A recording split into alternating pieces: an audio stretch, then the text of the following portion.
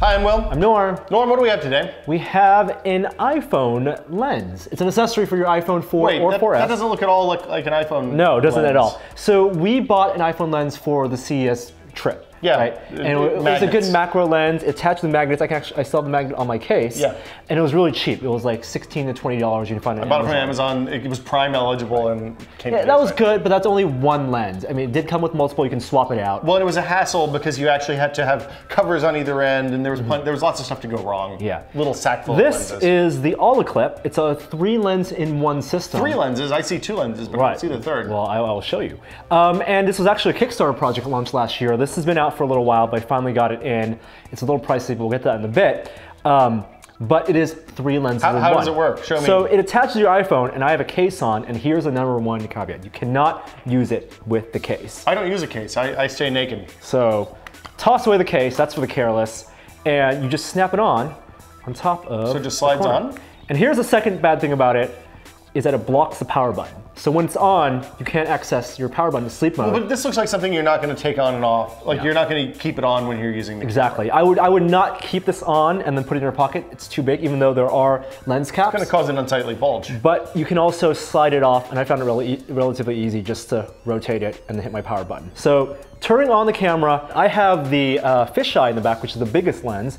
I'm gonna take off the, the cover, and you have a really big lens, and look at that. It's a, it's a cool fisheye lens. It's a very close to 180 degrees. And so even on my side, for example, like if you put, yeah, Will's hands further out, like there, you can't see Will's hands, so it's not full 180 degrees, but I move further back, you can see both of Will's hands in there, and you actually get his feet, like you get my I hand have two here. hands and two feet. I'm a big boy. Uh, when this was originally released, uh, the iPhone 4S wasn't out yet. It was still the iPhone 4 5 megapixel camera. I found that with the 8 megapixel camera on the iPhone 4S, the high resolution images work really well with the warping The- of, of the okay. lens. So that's fisheye, and I think it's really cool for people who like Instagramming. It works Yeah. really well because it's kind of square. Make 90s skate videos, you can do that too. So I'm gonna pop this off and flip it around now, and now you have a wide angle lens. And the wide angle lens is about twice the field of view as the regular uh, iPhone camera lens Okay. by itself.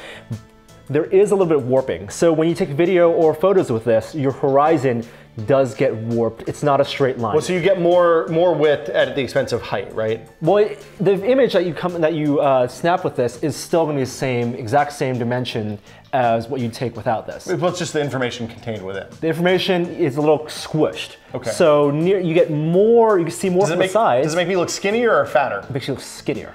Yes. Yeah, but you get both horizontal and vertical. Uh, horizontal. should just build this into the phone. They should.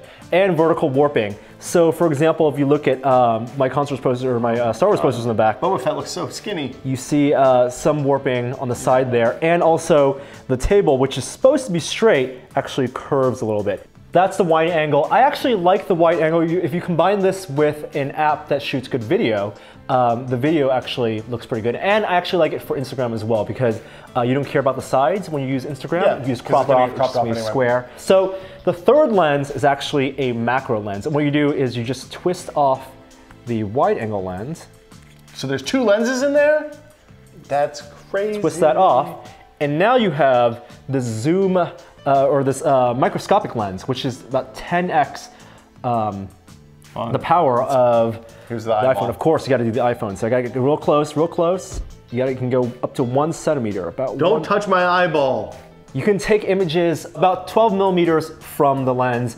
Uh, it's really cool macro, but that is best with a tripod.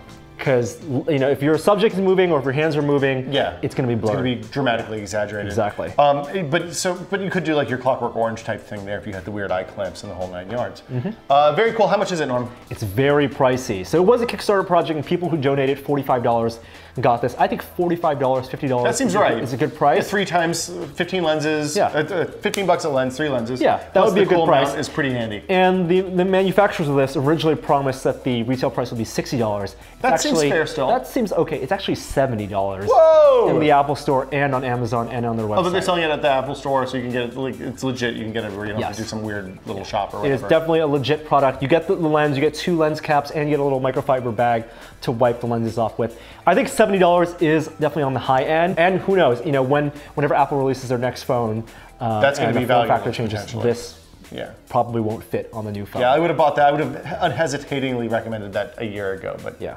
70 bucks seems like a Of course, like I said before, it doesn't work with cases and also obstructs your sleep button. Um, I think it's still a better solution than the than the stick-on magnetic magnets. things because those things th- were constantly falling off and were kind of a hassle. so that's the Olloclip. It's a fisheye, a wide angle, and a macro lens all in one kit. That's pretty cool. Uh, for test, I'm Will. I'm Norm. See you guys later. Bye.